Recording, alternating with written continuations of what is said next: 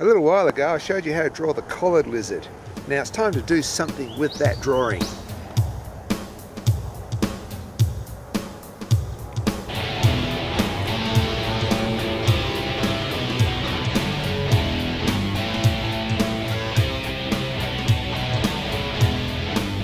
I've done a Collagraph video before, but this one's showing you how to do lines. It's more of a linear, almost like an ink drawing style, and this is just another technique with Collagraph.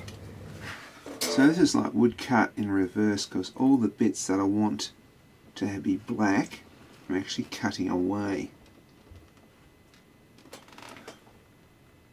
So I cut both sides of the line, again a little bit like woodcut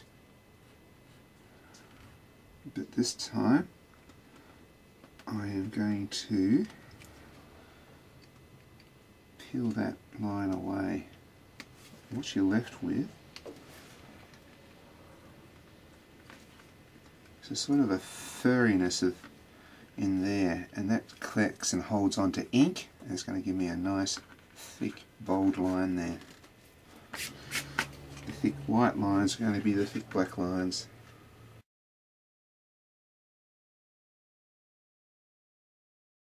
and now I'm adding some glue I found is sticks sharpened sticks one of the best things to add glue with.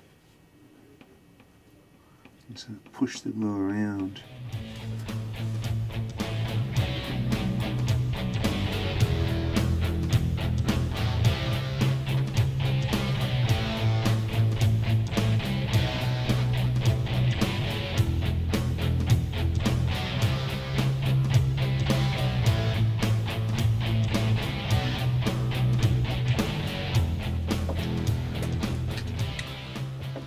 another layer of shellac.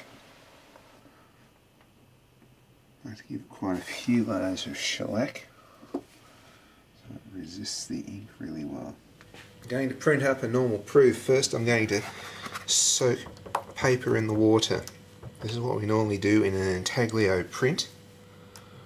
Give that a good soak for about five minutes and then I'm going to blot it out on blotting paper. This is blotting paper. You can use clean towels or even paper towels. I like blotting paper. It's reusable. Get quite a few uses out of it before you have to throw the blotting paper away. It's a happy little lizard. Okay, time to ink this guy up.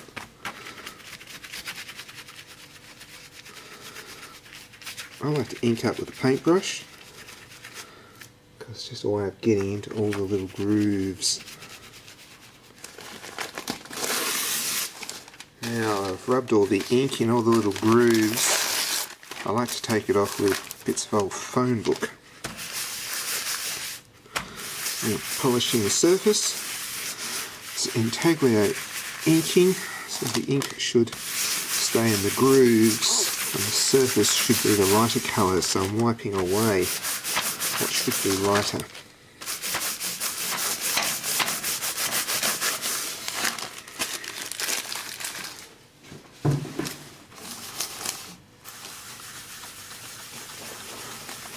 If you want a bit light, you have to really rub it lightly. It's like you're polishing it.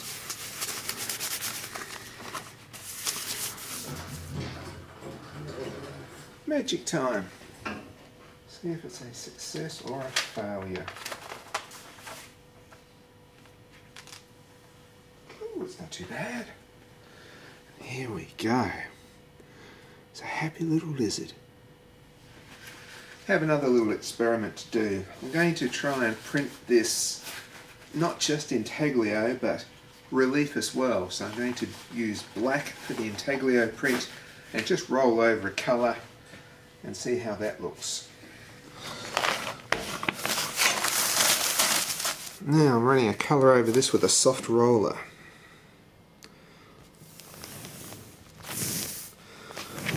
Press quite firmly with it. Tricky bit. Put a little bit of newspaper on top. Get a hard roller. And I'm rubbing over it gently with a hard roller.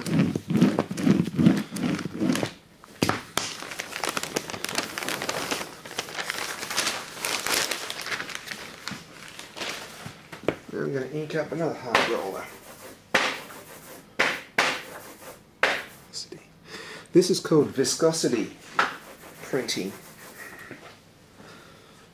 It's a way of getting multicolours onto the one plate and the one pass through.